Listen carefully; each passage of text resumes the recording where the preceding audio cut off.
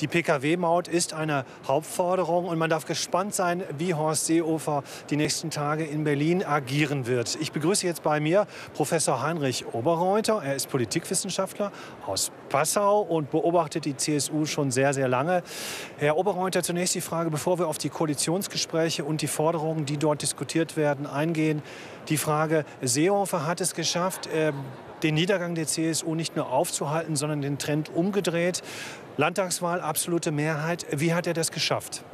Ja, indem er selbstbewusst aufgetreten ist, indem er einen Strich gezogen hat äh, zwischen dieser schütteren, kurzfristigen Vergangenheit, indem er vor allen Dingen auf die bayerische Identität gesetzt hat und indem er auf die ökonomischen Erfolge des Freistaats die Akzente gelegt hat und im Grunde war seine Strategie, vor mir war nichts. Wir vergessen die bittere Geschichte, die ja relativ kurz war, und fangen neu an. Und das ist ihm abgenommen worden. Und er hat Personalrochaden gemacht. Äh, Frau Eigner in Oberbayern zu platzieren, wo er vorher, die CSU vorher 20 Prozent verloren hatte, das hat sie restabilisiert. Kritiker sagen, er habe zu wenig inhaltliche Positionen, drehe seine Fahne sehr schnell, schnell in den Wind. Äh, was sagen Sie dazu? Ja, in gewisser Weise ist er repräsentativ äh, für die Wetterwendigkeit äh, des Volkeswillens und der öffentlichen Meinung. Äh, Volksparteien haben es insgesamt schwer, auf Prinzipien zu bestehen und klare Linien kontinuierlich lange durchzutragen. Die Dinge ändern sich rasch und Seehofer hat das hohe Talent, die Nase in den Wind zu halten, vor allen Dingen dann zu erkennen, wo es Widerspruch gegen die CSU gibt und diese Positionen alle wegzuräumen egal ob man sie vorher jahrzehntelang vertreten hat und das ist eben äh, an der Wahlurne sehr gut bekommen.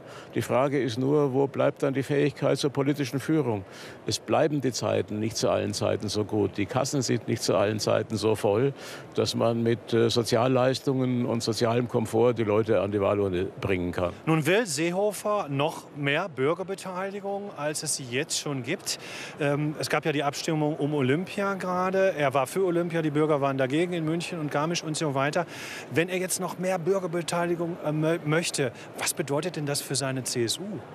Naja, hinterher hat er bei all diesen Abstimmungen ja gesagt, äh, er sei nahe am Volk. Ähm, das Problem ist äh, mit den Bürgerbefragungen, die er nun jetzt auch einführen will, in einem politischen System, das ohnehin höchst plebiszitär ausgestattet ist im Vergleich zu allen anderen Bundesländern, äh, wenn er das dann auch noch will, äh, dann fragen die Abgeordneten sich, und sie tun das relativ laut in der letzten Zeit, was haben wir eigentlich da noch zu bestellen? Denn je direkter Sie den Bürger immer wieder einbeziehen, umso mehr beschädigen Sie natürlich die repräsentative Demokratie und die Stellung des Abgeordneten und des Parlaments. Man muss natürlich auch sehen, wie substanziell das Ganze ist.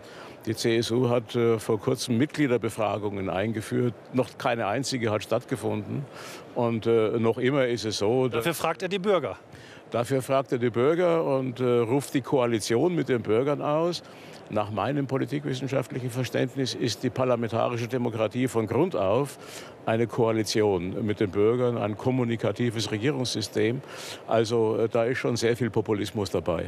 Nun wird es gleich hier losgehen. Der Parteitag wird von Alexander Dobrindt eröffnet. Wir haben letzte Woche über die SPD berichtet. Dort ist das Murren an der Basis sehr groß. Was hören Sie denn aus Bayern in der Union äh, über die Verhandlungen in Berlin? Was sagt man über das, was dort in Berlin verhandelt wird? Ja, die äh, Basis ist in Bayern natürlich nicht so herausgefordert äh, wie die SPD, die ja die Droge Anti-Großkoalition ähm, geschluckt hat. Äh, und äh, der Punkt ist, äh, die Bayern und auch die CDU-Basis äh, schauen schon drauf, dass nicht zu viel Butter vom schwarzen Brot genommen wird. Sie fühlen sich durch die offensiv vorgetragenen äh, sozialdemokratischen Forderungen schon durchaus auch herausgefordert. Die Befürchtung ist zu viel SPD in der Großen Koalition. Jetzt wird es sehr laut, gleich geht es los, aber trotzdem äh, noch die Frage, Herr Professor, die Forderung nach Pkw-Maut, nach einer Einführung der Pkw-Maut wird mit Verlaub außerhalb von Bayern Richtung Norden Deutschlands nicht so richtig äh, verstanden. Warum ist das der CSU, warum ist das Horst Seehofer hier so wichtig, die Einführung einer Pkw-Maut? Es ist äh, ein symbolischer Programmpunkt. Äh, man kann damit äh, populär äh, mobilisieren. Äh, ich habe neulich sogar mit prominenten Sozialdemokraten geredet, äh, die auf dem Weg vom Gardasee nach München zwei oder dreimal Maut bezahlen mussten und dann also sagten, na wartet mal, nächstes Jahr geht es euch auch an den Kragen. Äh, Bayern ist natürlich das Hauptdurchgangsland für den Verkehr und man kann auch ein bisschen nationale oder anti-internationale Vorurteile schören. Vielen Dank bis hierhin, Herr Professor Oberreuter.